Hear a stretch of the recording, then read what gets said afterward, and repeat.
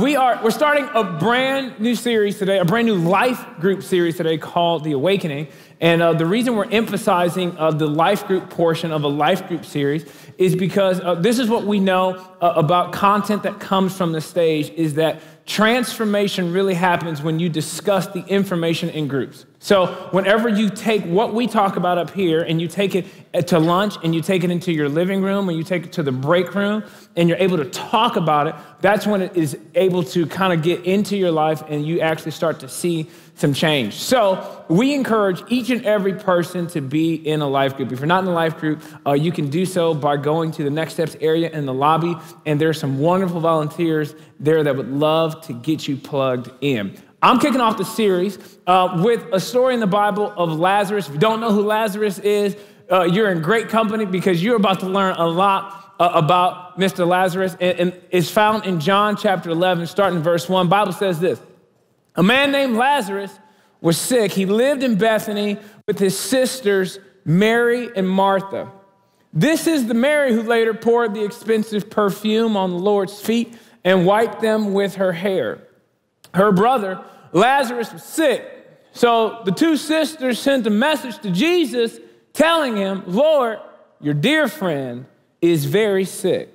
But when Jesus heard about it, he said, Lazarus' sickness will not end in death. No, it happened for the glory of God so that the Son of God will receive glory from this. So, although Jesus loved Martha, loved Mary, and loved Lazarus, he stayed where he was for the next two days. Can we pray for a moment? Father, in these next few moments, I pray that we would come to life more than we ever have before. Lord, we also lift up the Chicago Bears to you. Bless them in Jesus' name. And everybody said, uh, a couple months ago, um, I had an aunt that passed away. Her and I weren't close, but um, it's, it's interesting when you're at a, a, funeral because everyone has a different relationship to the person that's passed. And for me, it was my aunt, but for my mom, it was her sister. So, so me being present at the funeral for me wasn't just there to honor the life of my aunt, it was really to be there for mom. So I, I flew in uh, about midnight, late on, on a Sunday night, and show up at the funeral. I see my mom, I hug her. I say, Mom, whatever you need, I got you. I'm here for you. Let, let me know anything I can do for you, Mom. I, I'm on it. Mom looks me straight in the face. She goes, Ryan, I need you to run sound at the funeral. I said, Excuse me, Mom? What do you mean you need me to run sound? She's like, I, I, need you, I need you to run sound here at the funeral. I said, Is this a joke? She's like, No, I need you to run sound. I said, Okay. My mom hands me a burned CD and says, Play track two when the family comes walking in.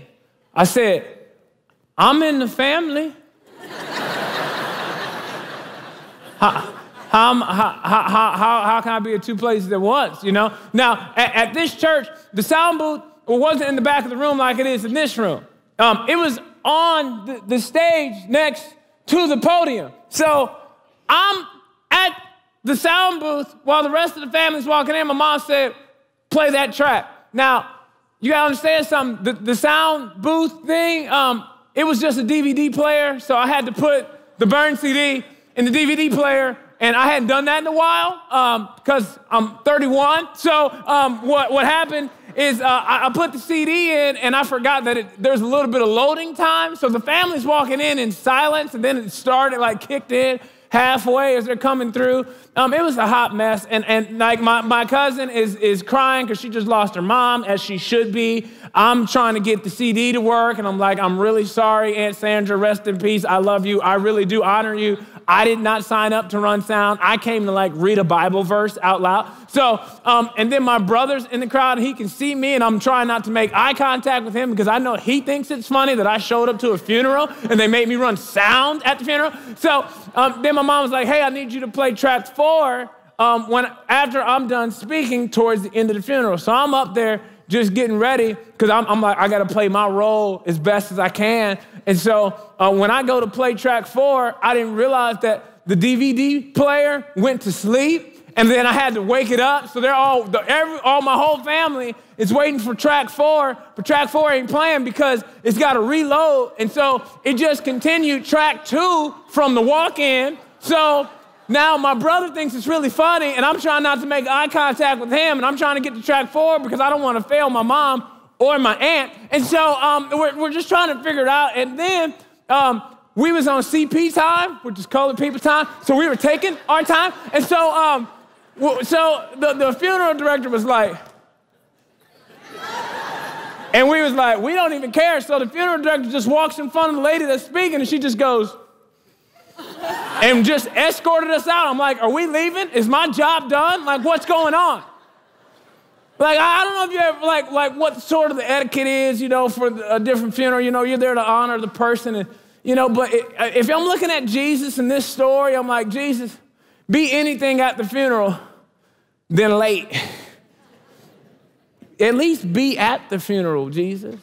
I mean, on some level, you're just going, how, how are you not even going to show up? Like, you really, really love Lazarus, right? And, and this, is, this is what he says. Finally, he said to his disciples, Let's go back to Judea. Now, Judea is where the funeral is taking place, and this is where the story gets interesting.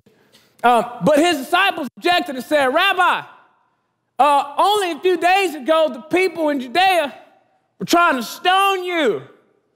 Are you going there again? Let me translate.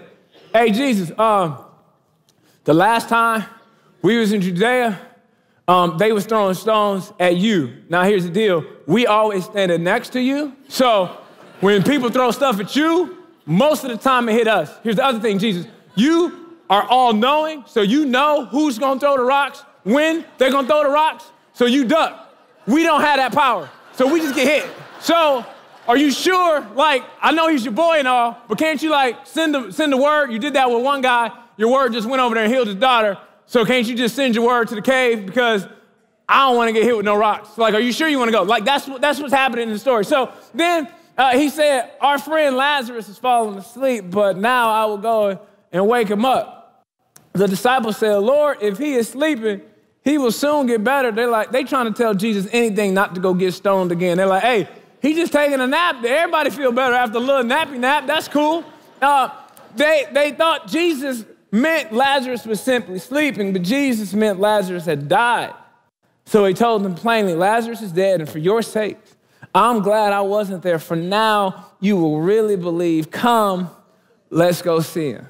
They're like, okay, this is cool. Except there was one guy. This is one of my. This is one of the funniest verses in the Bible.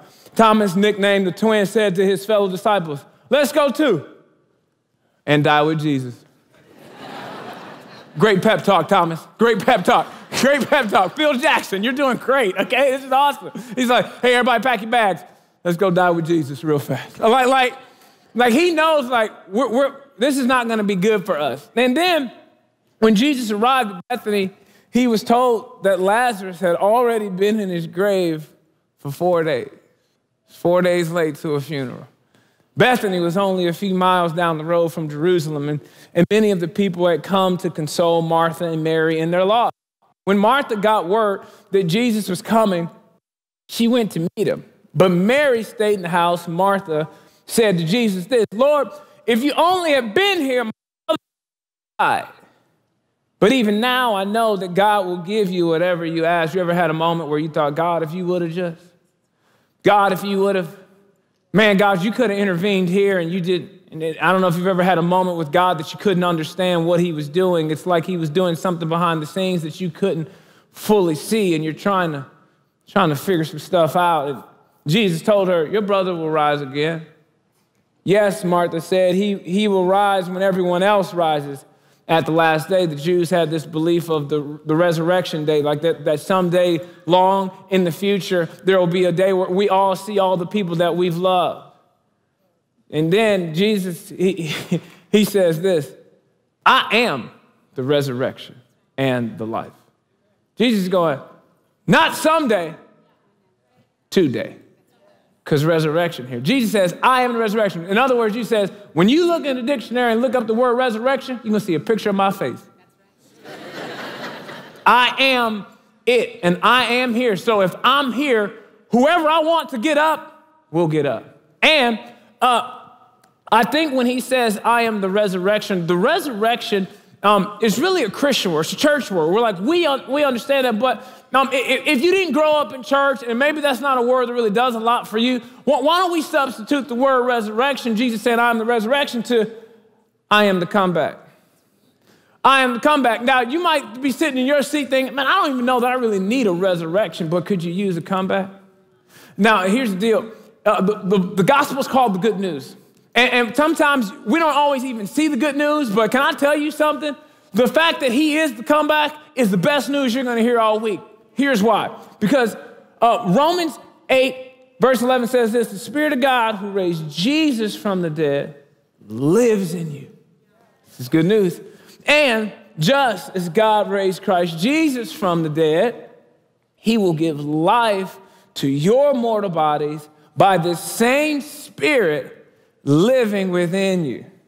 So instead of us going the same resurrection power that lived in Jesus lives in you, I want to tell you today the same comeback that was in Jesus is in you. Here's what that means that means that's good news for anybody that's lost a marriage. That's good news for anybody that's ever failed. That's good news for anybody that's ever lost a job. For anybody that has ever put a period where God is just putting a comma. Maybe God is just getting started with your life, and maybe you've made calculations about your whole life based off of past mistakes. You know what I loved about the video we just watched? Is Ryan, he's got, he's got his arm in a cast and can you imagine if he put a period on his story right where he says, My mom left me at the airport? Imagine if he put a period on his life. Imagine if he just went, Man, that's it. And that's, I'm, I'm gonna live from that brokenness. I'm gonna live from that pain. No, no, no, no, no. He said he went to a summer camp and God took away a period and put a comma and said, But now we've got a life for you. Now he's in a leadership college and his best days are ahead of him because He's got a comeback that's on the inside of him. And maybe there's some people here that believe that the word divorce is going to somehow define their life. And it's going to sit with you and it pains your kids. But can I tell you that doesn't have to define your life? Can we remove that period and now the comma goes? And then, and all of a sudden, God starts to show up in your life. And can you imagine if everybody in this room and everybody that's watching online decided to just say a prayer and decided to say, Lord, use my life. And I, I just got a feeling that, that you're not done with it.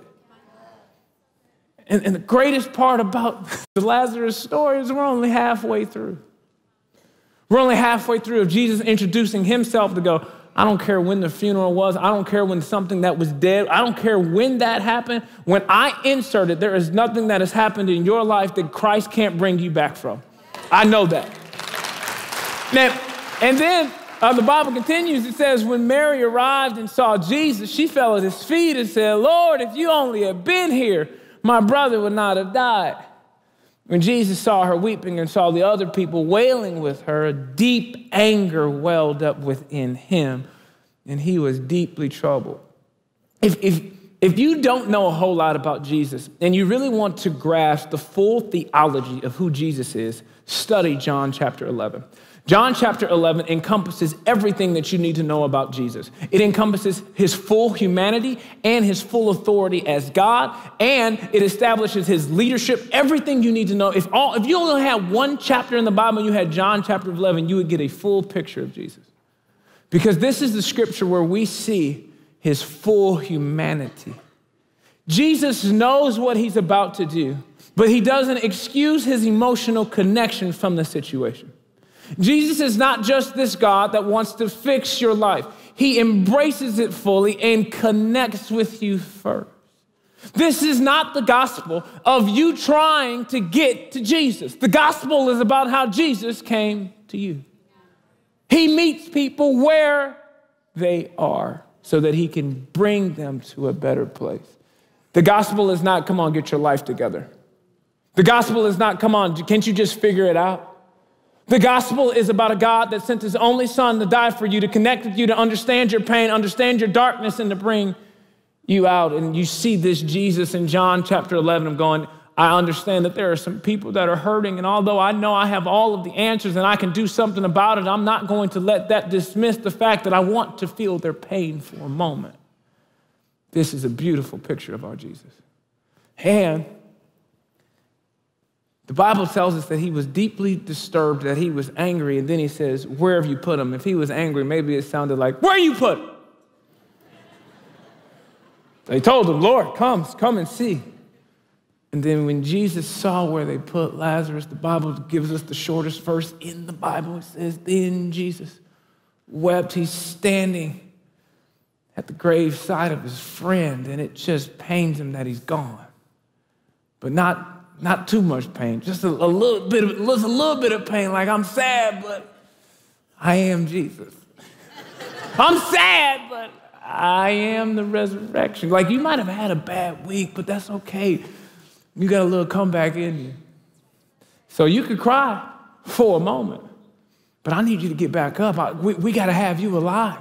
We got to get you back on your feet again. It's not over yet. Don't, we got to remove the period. It's just a comma. And the people who were standing nearby said, See, see how much he loved him? But some said, This man healed a blind man. Couldn't he have kept Lazarus from dying? Jesus, like, worry about your own business, okay? Worry about yourself, okay? Worry about yourself. I'm Jesus. I, I got this. Jesus was still angry as he arrived at the tomb, a cave with a stone rolled across its entrance. Roll the stone aside, Jesus told him. But Martha, the dead man's sister, protested Lord, he has been dead for four days. The smell will be terrible. Girl, would you calm? You worried about how he smell? You about to get your brother back, okay? You about to mess it up, okay? Interrupting Jesus while he doing his thing. Calm down. Jesus responded, Didn't I tell you that you would see God's glory if you believe? Could you imagine if we just looked at our life through that lens? That just said, Lord, may my life bring you glory. May my life bring glory to your name.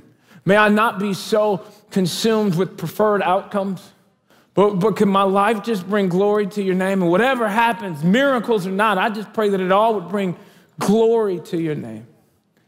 And then they rolled the stone aside. Then Jesus looked up to heaven and said, Father, thank you for hearing me. You always hear me. But I said it out loud for the sake of all these people standing here so, so that they will believe you sent me. Then Jesus shouted, Lazarus, come out. And the dead man came out, walking dead. Boy, this is crazy.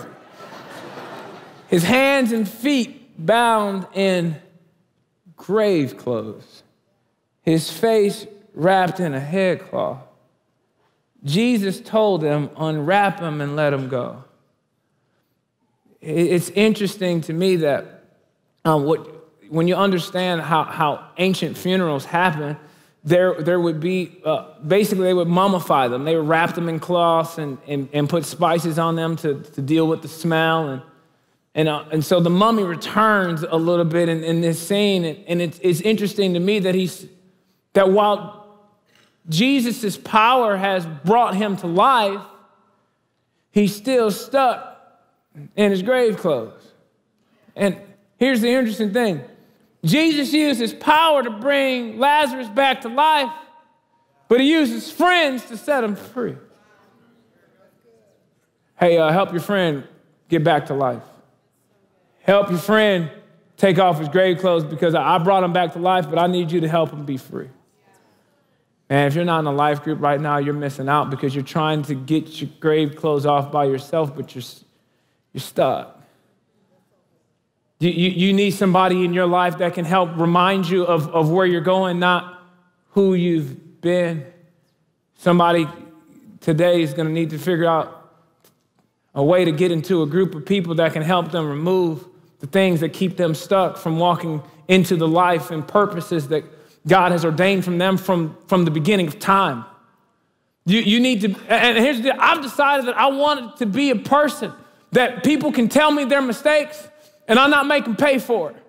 That people can tell me what's really going on with them and that they're going to be encouraged to make some decisions about their future, not dwell on their past. And, and some of us surround ourselves with people that represent our past and bring up who you used to be, who you used to hang out with, and what y'all used to do together. And, and, and there, is, there is this thing that it just keeps you stuck. It keeps you running on a treadmill. You're going as fast as you possibly can and you're exhausted, but you're going nowhere. You're just, you're just tired. You're, you're, just, you're just stuck. Jesus to help, help your friend. I, I just decided if I'm going to bring up your past, I'm only going to bring it up to remind you of what God has set you free from. Um, it, it is not a thing for me to bring it up to put shame on you. It's to take shame off you and put you into a position of worship to go, man, you got a lot to be grateful for. Do you remember what you used to be in? We ought to thank God that He rescued you and me. What type of friend are you? You do that for people? What do you do when people talk about their mistakes? What do you do when people tell you about their marriage? And they tell you about their spouse and they're doing this and they're doing that. And what do you do? Are you a person? Yeah, man, my wife too. I can't believe. Or are you the type of person that goes, man, could you, what would happen if we just made some adjustments? What would happen if, if, if we, like, I don't want you to go, go back there. I don't want you to, to get divorced again. I don't want you, like, can we, can we start to have some conversations to make sure that we're going to be people in each other's worlds that just go, man, I, I don't want you to keep being stuck. I've been watching your life. I've had a front row seat to it, and you've been running in place and you look exhausted. And I don't want you to keep making the same mistakes over and over and over again. You have been made alive in Christ. So live like it. Bible says this in Ephesians chapter 2, it says, But God is so rich in mercy, and He loved us so much that even though we were dead because of our sins, He gave us life. When he raised Christ from the dead, it is only by God's grace that you have been saved. For he raised us from the dead along with Christ and seated us with him in the heavenly realms because we are united with Christ Jesus. Bible also says this in Ephesians chapter 4 it says, As a prisoner for the Lord, then I urge you to live a life worthy of the calling you have received. City First Church, you got to know this is God has a calling on your life. God's got a destiny for your life, a strategy, a plan, a purpose for your life. You should live a life worthy of that. In, in light of who God has called you to be, I would urge you to go, you know what? It's worth not wearing grave clothes. It's worth me giving up some of the things that I want to hold on to so badly it's worth giving that up in light of who, in light of the future that God has for me. It's worth me giving up some, some momentary pleasures. To say, you know, I just, I don't want to live with grave clothes. There, there's a girl at, at, my church in Dallas, and, and uh, we, I, was talking about a new book I, I just wrote called Unoffendable, and it's all about like letting go of offenses and all this stuff. And, and I, I'm, I'm, t- I'm speaking this message, and afterwards she goes, You were talking to me. You were talking to me. I, I go, Well, what's going on? She said, You know, there's this Christian institution. I'm so mad at them because you want to know what? There is not hurt like church hurt. Because church hurt hurts the most because it's, it's from people you expected not to hurt you. And so when you when you experience church hurt, you get mad at a bunch of people you ain't never even met. So you look at every Christian sideways thinking, are they to be like the last one that I encounter? And, and it can really mess with the person. And so she's like, I got a lot of church hurt. And, and tonight I forgave that institution. Tonight I forgave them. Ryan, what you don't know about me is that I was on my way to being a youth pastor. I used to grab the mic, I used to speak, but I just kind of, I kind of lost my way over the last three years. I went down a dark path and I just, I just, I just don't know. And, I, and I, I said this to her. I said, hey, you know that person you just talked about? I'd like to meet her. What do we got to do to get her here? She's like, I don't know. I said, I got an idea. Next month, we're doing open mic night, and I want you to preach for three minutes. She's like, no, no, no, no, no, no, no, no, no. I, I said, yeah, yeah, yeah, yeah, yeah. I'm going to make you. She goes, you can't make me. I go, watch me. If you show up, you're gonna be speaking. She's like, she's like, you can't do that. I go, I'm gonna have a crowd chanting your name to come to the stage because I can do that, okay? So she's like, oh, and every time I see her, I'm like, hey, open mic night coming. Hey, open mic night coming. So open mic night comes, and she, she's like, Ryan, I can't do it. I go, there's two ways for you to walk on that stage willingly. It's your life. You, you tell me what you want to do crowds chanting her name. She just kind of walks up there, kind of said, Let me tell you something. This girl grabbed the mic, and I'm telling you, it was like the presence of the living God walked in the room. And she goes, uh, she, she had some, some thyroid complications, and she, uh, she had found out that she had cancer. And in a couple of services before that, um, I gathered all of our community to pray for her. So she grabs the mic and she said, Hey, my name's Crystal. Um, do y'all remember when y'all, y'all prayed for me? Um, I, I, got notice from a doctor that, that, uh, that I was having some complications and that they found cancer in my blood and, you know, a biopsy here, a biopsy there. And I was just, I was really scared. And so two weeks ago, y'all prayed for me. Y'all remember that whole crowd was like, yeah, yeah, we remember. We prayed for you. She's like, yeah, I went back to the doctor, and the doctor took some more blood, and, and he looked at the blood. He said, this doesn't make any sense. Uh, for some odd reason, your blood looks like, it looks like you have the blood of a marathon runner. She was like, I don't run. and, and he, he said, uh, and, and some, something else is odd. All the cancer is gone. And she, and I'm telling you, the, the place erupted. Okay, like you, you would have thought like the Bulls won a, a, a, NBA championship. Like, like we went crazy, and like I run over to her and I just said, "My name is Ryan Leak. It is so nice to meet you." This person that was just so alive. I'm like, we need her. Our world needs her. Our world needs you. Awakened our world needs you alive, that person that you called to be. Man, there's maybe something that's been dormant for a very, very long time. Can we allow Jesus to step into that period and add a comment and go, man, can you imagine what your life could look like now? Oh man, that's good news for anybody that thought they were a failure because of all their sin and all of the mistakes that they've made. Was, can we just add a comma to that? God's got a whole life for you. And, and, and here's, here's the interesting thing about Ryan and his story. He's like, you know what? My mom left me at the airport, and now every person that's ever felt left, ever felt rejected, now has a chance because Ryan is here.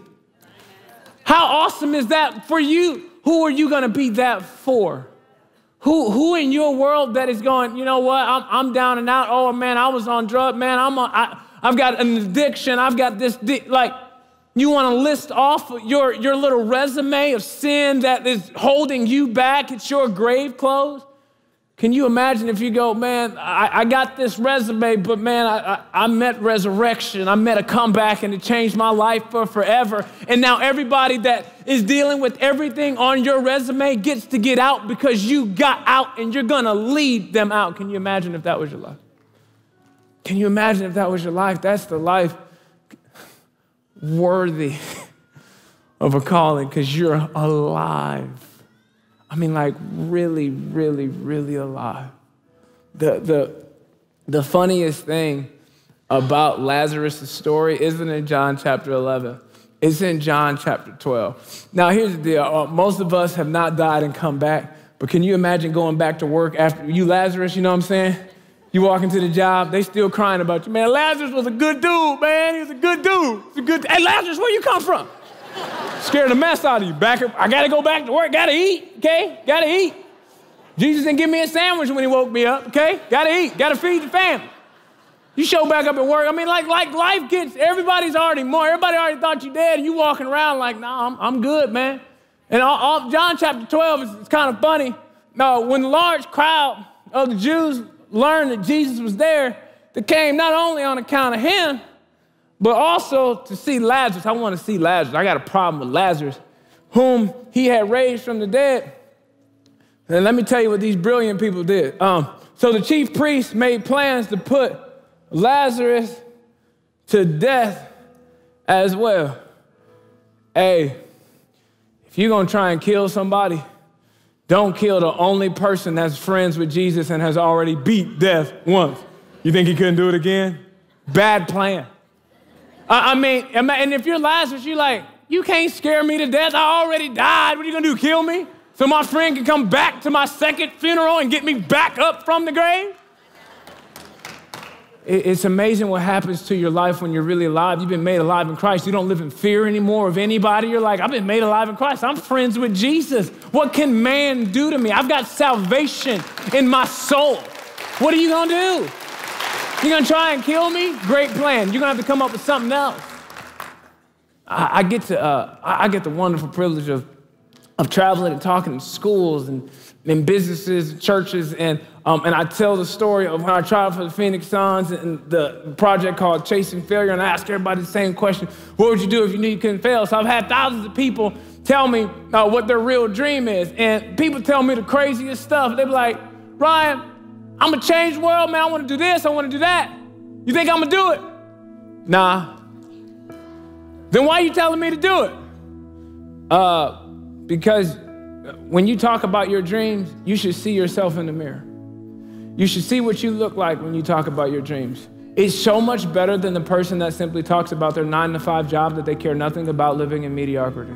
So, yeah, I would rather talk to this person that's about to fail because maybe the person that's about to fail is living for the first time. And maybe this person that is telling me about their really, really scary dream, now they need God.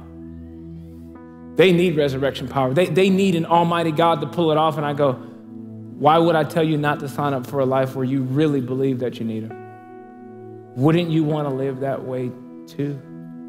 I would. Oh man, I, I see a, a, a community of believers in this room and watching online that are just going, I'm alive. I'm, I'm going for, there's nothing that can stop me because I have been made alive in Christ. And, and this is a prayer that, I, that we're going to be praying over the next four weeks. And, and I, think, I think we all should, and maybe you want to take a picture, maybe you want to write it down, but it's this Jesus, I pray that you would do something new in my heart and awaken me to the more you have for me. Jesus, I pray that you would do something new in my heart and awaken me to the more you have for me. Can you imagine if this was your prayer? And, and, and here's the deal as you pray it, I hope that your prayer life isn't just about what you're saying to God, but perhaps what He might say back to you. And I hope and pray that maybe something is revealed to you that you never even knew about yourself. I pray that on, on some level, that as you start praying this prayer, that the Lord would begin to remove shame off of your life. That He would begin to remove the grave clothes, remove all of the things that have kept you stuck, to remove all of the things, all of the excuses that you have given Him for why you can't be who He's called you to be. I pray that in those moments, that He would reveal that plan and that that plan would be so grand and so amazing that it would be worth saying no to something that's mediocre. With every head bowed and every eye closed, I want to give each and every person the opportunity, perhaps, to make Jesus the Lord of their life for the first time. Or maybe uh, you've been away from church for a while, or maybe you were brought here by a friend and and uh, you used to be a Christian, or you, you would say you used to be a Christ follower, and you say, Man, I, I need to rededicate my life to Christ, whether it is your first time, second time, or third time whatever time it is for you, I want to give everybody an opportunity to say, you know what, Jesus needs to be the Lord of my life. I want that comeback, that resurrection power to be in me. If that's you with no one looking around, would you just slip up your hand and say, Yes, I want to receive Jesus? I see your hand, I see your hand, I see your hand. I see your hands up there. That's awesome. Is there anybody else? I see your hand, miss. That's great. I see your hand, I see your hand, I see your hand. That's great. Hey, can we all pray this prayer together as, as a family and community of believers? Say, Jesus. Thank you for dying on a cross for my sins. Your blood washes me clean. Forgive me for all the mistakes I've made. And I ask now for a fresh start in you. Give me new life. And I will follow you all the days of my life. In Jesus' name we pray. Everybody said, Amen. Come on, can we make some noise for every single person that gave their life to Christ? It is literally the best decision you have ever made in your life. And, and, and here's what we want you to do as the next step. If you raise your hand, we want you to go to the next steps area and tell somebody, say, hey, I made that decision today. We want to put some materials in your hands that can help you uh, navigate what your journey needs to look like now that you are saved. Once again, can we put our hands together for every person that gave their life to Christ today? Uh, also, if, uh, if you want to join a life group, uh, you can also do that at, at the Next Steps booth. If you want to start one, um, maybe, maybe that's the thing that God's been urging you to do that maybe you've been putting on the back burner. And um, maybe today is the day that you sign up and say, hey, I'd love to, to get trained to do that. And, and the way we've, we've even made life groups, we give you like a little box. You, you can start a life group at your job. Like, like we, we've done a lot of the legwork for you. Jairus filmed um, a, a, great life group series on this, and it's kind of a, a, plug and play. So don't be intimidated by that thought. And if you want to start a life group or join a life group, you can do so at the Next Steps table. Uh, Jared will be back to continue um, the Awakening series next week. And uh, City First Church, it's always a pleasure to be with you. Have a fantastic weekend. And um, our prayer team is available up here in the front for prayer. Have a great weekend.